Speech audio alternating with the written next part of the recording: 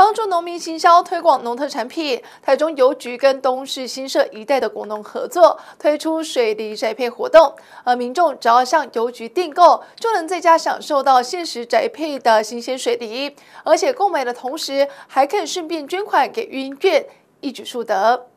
为了协助在地农民推广农特产品，台中邮局和东市新社一带的农民合作，民众只要向邮局订购，不用出门，现采的新鲜水梨就会宅配到府，挺农做公益。这天活动还捐出一百三十箱给台中爱心食物银行。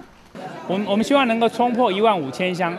我们去年因为这个水梨每年都一直突破我们的记录啊，去年比前年多卖了大概一千箱，呃两千箱啊。今年我们希望结合着政府的优惠活动啊，啊，还有大家这个爱心活动，希望能够突破一万五千箱。对，那呃水梨事实上是这个季节，然后又是我们台中在地呃新社东市呃果农所辛苦栽培最甜美的果实，能够把这样子的水梨带到我们海线的这些我们的爱心食物营养的弱势家户，我想这样子的公益活动，透过邮局的递送，我想可以把我们的爱心普及到我们的所有的弱势家户。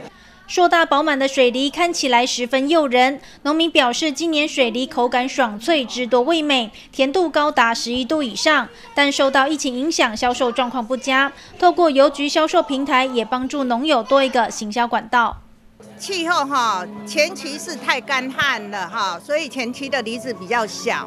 啊，后面雨水比较调和，颗粒就有转比较大一点。产量呢？是差去年一点点而已，没有差很多。台中育婴院的小朋友卖力表演，感谢各界爱心。民众即日起只要向邮局订购水梨，邮局就会代捐十元给台中育婴院。除了支持在地农特产，也希望能抛砖引玉，鼓励更多民众一起来做公益。记者张伟玲台中采访报道。